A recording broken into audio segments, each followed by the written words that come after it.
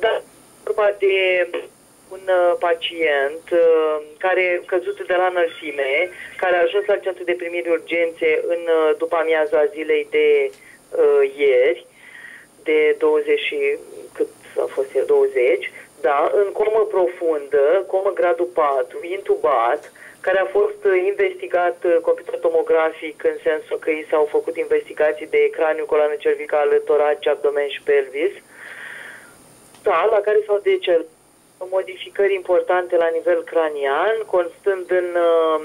uh, hemoragie subarachnoidiană, inundație ventriculară și mici contuzii hemoragice. Și mai mult decât aceasta, mai multe traiecte de fractură, dintre care cele mai importante uh, erau uh, la nivel frontoparietal înalt dreapta, cu fundare de fragmente osoase intracerebral și însoțite de un uh, mic hematom subdural,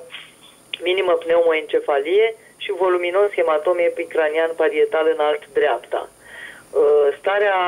celelalte leziuni uh, nu îi puneau în momentul examinării viața în pericol și mă refer uh, aici la o leziune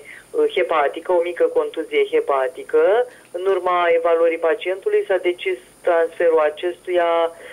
la Spitalul de Neurochirurgie Iași.